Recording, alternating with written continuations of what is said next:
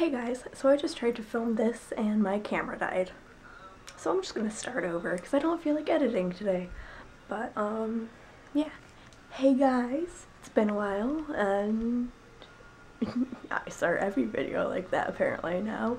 Um, so what's been going on? I got accepted into college yesterday, which is really awesome. So I'm officially a uh, student at the Art Institute in Tampa and next month, actually in a few weeks, I'm going to be going and getting my GED.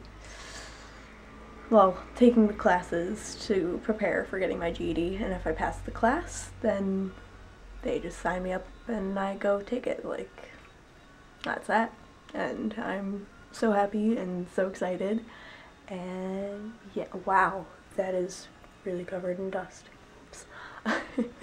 Sorry, distracted. Um, so yeah, that's that's exciting and number one thing that's been going on right now. I'm I'm so relieved.